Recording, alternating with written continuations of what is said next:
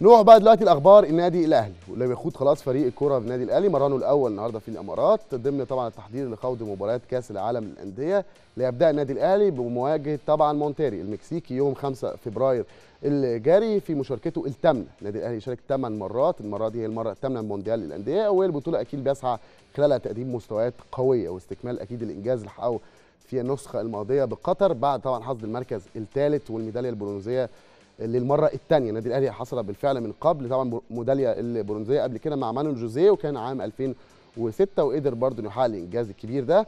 بيتسو موسيماني المدير الفني للفريق هيحدد برنامج التحضير لخوض منافسات كأس العالم للأندية مع معاونيه من خلال وضع طبعا برنامج بدني خاص لرفع كفاءة اللاعبين البدنية واللي اتاثرت أكيد بعد طول فترة الراحة اللي حصل عليها اللاعبين بعد توقف مسابقة الدوري.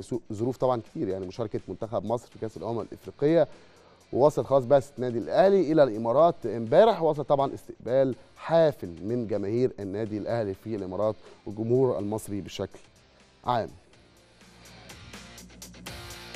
لسه مع أخبار النادي الأهلي وملف تجديد طبعا عقد بيتسو موسيماني المدير الفني للنادي الأهلي وعادة وكيلة أعمال موسيماني لجنوب أفريقيا دون التوصل لاتفاق نهائي بشأن تمديد التعاقد مع المدير الفني بعدما عقد أكثر من جلسة. مع امير توفيق مدير التعاقدات في هذا الشأن لكن ما وصلوش لاتفاق نهائي بخصوص هذا الشأن.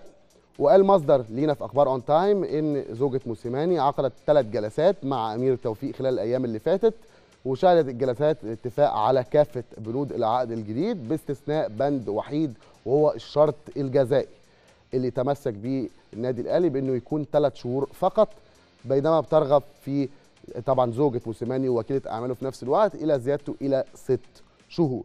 أبلغ أمير توفيق طبعا زوجة موسيماني بأنه هيعرض الأمر على أكيد كابتن محمود الخطيب رئيس مجلس إدارة النادي الأهلي من أجل اتخاذ القرار النهائي. ومن المتوقع أن طبعا يتم عقد جلسة خاصة مع موسيماني في الإمارات كمان على هامش تواجد الفريق هناك. طبعا الأهلي كان قدم عرض أخير لموسيماني وهو أنه يمدد سنتين مقبلين للموسم الجاري مقابل 160 ألف دولار شهريا.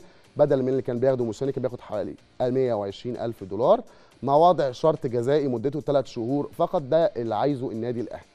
لكن طلبت وكيلة أعمال موسيماني وهي زوجته في نفس الوقت زي ما قلت لحضراتكم في البداية إن يكون الشرط جزائي لمدة ست شهور ولكن أمير توفيق في انتظار قرار نهائي من الكابتن محمود الخطيب.